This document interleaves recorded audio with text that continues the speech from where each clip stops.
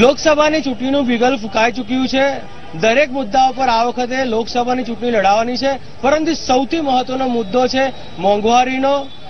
જે પ્રકારે મોંઘવારી વધી રહી છે તેને લઈને સૌથી વધારે જો અસર કોઈ થતી હોય તે મહિલાઓ થતી હોય છે. એટલે ઝી ચોવીસ કલાક એક ખાસ કાર્યક્રમ લઈને આવ્યું છે. રસોડાથી લઈને રાજની સુધી. આપણે કેટલીક મહિલાઓ સાથે વાત કરીશું અને મહિલાઓ સાથે વાત કરીને તેમને પૂછીશું કે તેઓ શું માની રહ્યા છે. મહિલાઓને સૌથી વધારે અસર પડતી હોય છે. આપણે મહિલા સાથે વાત કરીએ. મેમ પાંચ વર્ષ સરકારના પૂરા થયા છે, લોકશાહીનો પર્વ ચાલી રહ્યો છે, ચૂંટણી થઈ રહી છે. કયા પાંચ, હવે આવનારા પાંચ વર્ષ માટે તમે કયા મુદ્દાઓને ધ્યાનમાં રહીને મતદાન કરશો અને છેલ્લા પાંચ વર્ષની સરકારનું તમે કઈ રીતે મૂલ્યાંકન કરો છો? સરકારનું મૂલ્યાંકન તો એમણે ઘણા ફાયદા બી આપેલા છે અને ઘણા નુકસાન બી કરેલા છે. મોંઘવારીના મુદ્દે કહીએ તો મોંઘવારીમાં અમારા રસોડાનું બજેટ પાંચ હજાર જે પહેલા થતું હતું, એની જગ્યાએ તે આઠ હજાર સુધી પહોંચી ગયેલું છે. એટલે મોંઘવારી તો વધી જ ગયેલી છે. નથી સરકાર કોઈ પેરેન્ટ્સ માટે કશું કરતી. નથી અ, અ, અ, લોકલ પબ્લિક માટે કશું કરતી અને સરકારના અમુક અ, ફાયદા અમને ગમેલા એ છે કે જેણે સર્જિકલ સ્ટ્રાઇક કરીને જે સામે દુશ્મનની સામે અ, અ, ભારત માટે એમણે એ કર્યું એ પેરેન્ટ્સ અમને લોકોને ગ- એટલે, અ, વ્યક્તિઓને ગમેલું છે એવી રીતે अन्य महिला पंच है आपने आ, आपको किस तरह से लगता है कि पांच साल सरकार के खत्म हुए हैं चुनाव चल रहा है और किस तरह की सरकार आप चाहते हैं और क्या चीज़ होनी चाहिए? आम आदमी के लिए कौन सी कौन सी बातों का ध्यान हर सरकार को रखना चाहिए? क्या कहेंगे इस पर?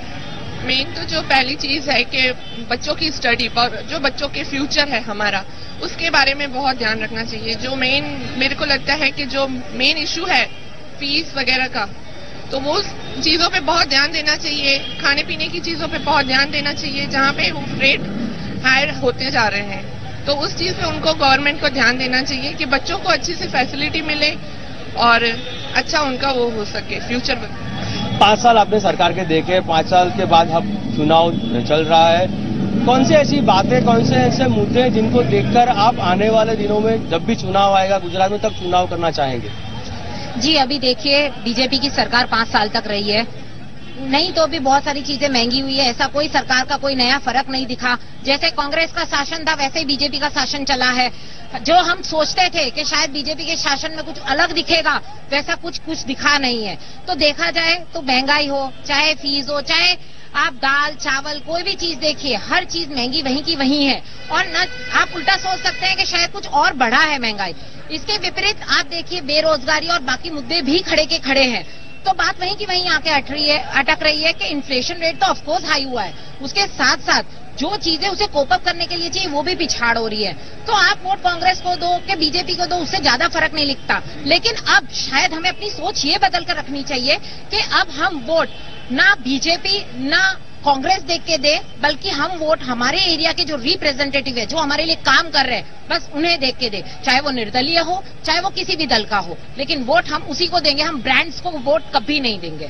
ખૂબ સરસ વાત કરી કે उम्मीदवार ने પણ જોવો जो તેની કામગીરી कामगिरी છે તેને લઈને વોટ वोट करवो जो कह रहा है आपको क्या लगता है, जिस तरह के पाँच साल रहे और अब पाँच साल के लिए चुनाव करना है, किस तरह के मुद्दे आपके दिमाग में है और उस मुद्दे को देखकर आप वोट करेंगे।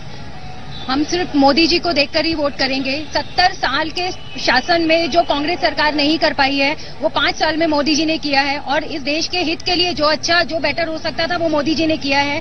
बात करें हम आतंकवाद की तो आतंकवाद के लिए सत्तर साल में इतना आतंकवाद हमारे देश में फैल गया था, लेकिन पाँच साल में मोदी जी ने बिल्कुल उसका सफाया कर दिया है। कहीं पर बम ब्लास्ट नहीं होता है अब। और अगर कोई एक्शन लेते भी हैं आतंकवादी तो सर्जिकल स्ट्राइक जैसे करवाया मोदी जी ने। तो वो एकदम से एक्शन लेते हैं। ऐसा नहीं होता है। पहले कांग्रेस के राज में क्या होता था कि अगर कुछ ऐसा हुआ है, कहीं बम ब्लास्ट हुआ है तो उस पर कार्रवाई चलती रहती थी। सालों साल वो केस निकल जाता था, लेकिन अभी मोदी जी के राज में ऐसा नहीं हो रहा है। सर्जिकल स्ट्राइक जैसे उन्होंने करवाई तो फटाफट डिसीज़न लेते हैं। हर चीज़ के लिए। वो कोई भी मैटर हो, मोदी जी की सरकार से हम लोग बहुत खुश हैं और चाहते हैं कि आने वाली जो सरकार है, वो भी मोदी जी की ही होनी चाहिए। हम लोग मोदी जी को ही वोट करेंगे। पाँच साल खत्म हो चुके हैं और पाँच साल में राजनीति काफ़ी बदली है। कौन से ऐसे मुद्दे हैं कौन से ऐसे बातें हैं जिनको देखकर आप आने वाले दिनों में चुनाव करेंगे और पिछले पाँच साल जो सरकार कर रहे हैं, मोदी सरकार कर रहे हैं, उसको आप किस तरह से देखते हैं? मोदी सरकार ने बहुत अच्छा काम किया है। सब बोलते हैं जीएसटी जीएसटी, लेकिन इन फ्यूचर वो बहुत अच्छा करके जाएगा। बिल्कुल कहते हैं जो सा बेईमानी है, सब खत्म हो जाएगी। और मेन मुद्दा जो फ़ीस का जो चल रहा है आजकल स्कूलों का मेन बात सिर्फ इतनी है कि जो जेन्युइन है जो अकॉर्डिंग टू रखा गया है उतनी ली जाए बस इतना ही चाहते हैं और कुछ नहीं हम लोग और मोदी सरकार बेस्ट है हम उनको ही वोट करना चाहेंगे થેન્ક યુ છેલ્લા છેલ્લા પાંચ વર્ષ તમે સરકારના જોયા છે સરકારે જે કામગીરી કરી છે ચૂંટણી આવી ગઈ છે ને હવે વોટિંગ શરૂ થયા છે ગુજરાતમાં ત્રેવીસમી એપ્રિલે વોટિંગ થવાનું છે કયા એવા મુદ્દાઓ છે જેને ધ્યાનમાં રાખીને આપ મતદાન કરશો હવે આ વખતે તો બીજેપીને આટલા પાંચ વર્ષથી બીજેપીએ ઘણું બધું સારું કામ કર્યું છે. મોદીજીએ એટલું સારું કામ કર્યું છે. થોડો ટાઈમ હાર્ડ પીરિયડ રહ્યો છે સ્પેશિયલી હાઉસવાઈફ માટે. પણ ઇન ફ્યુચર જોવા જઈએ તો એ સારું રહેશે. અને એમનું જે વિઝન છે એ સારું છે. અમારા માટે હાઉસવાઈફ માટે સ્પેશિયલી કારણ કે હાઉસવાઈફને આખું ઘર હેન્ડલ કરવાનું હોય છે તો એના માટે. તો અમે આ વખતે બીજેપીને વોટ કરીશું, મોદીજીને. તો આ મહિલાઓ છે જે રસોડાનું સાચવતી હોય છે, પરંતુ સાથે સાથે રાજનીતિની પણ સારી એવી પરખ રાખી રહી છે. તમામ મુદ્દાઓ પર તેમણે વાત કરી. છેલ્લા પાંચ વર્ષમાં સરકારે શું કામગીરી કરીને આવનારા પાંચ વર્ષ માટે સરકારે જે વાયદા કર્યા છે, તેમાં પણ તેમને ભરોસો છે. જોવાનું હોય છે કે ત્રેવીસ તારીખે જ્યારે ગુજરાતમાં મતદાન થશે અને ત્રેવીસમી મેના રોજ જ્યારે પરિણામ આવશે, ત્યારે પરિણામમાં કોનો વિજય થાય છે. કેમેરામેન રાકેશ ગિરાજે સાથે તેજસ મોદી, ઝી ચોવીસ કલાક, સુરત.